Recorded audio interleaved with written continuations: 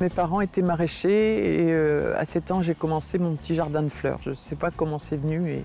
On est cinq frères et sœurs et, j'étais la seule à faire mon petit jardin euh, dans mon coin.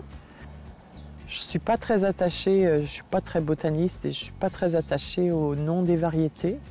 C'est plus les formes et les couleurs qui m'intéressent.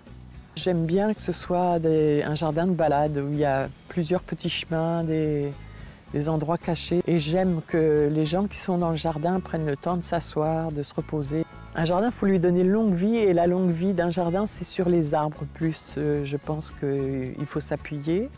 Et puis après nous, le jardin, il sera euh, peut-être euh, abandonné ou pas suivi comme nous on l'a créé.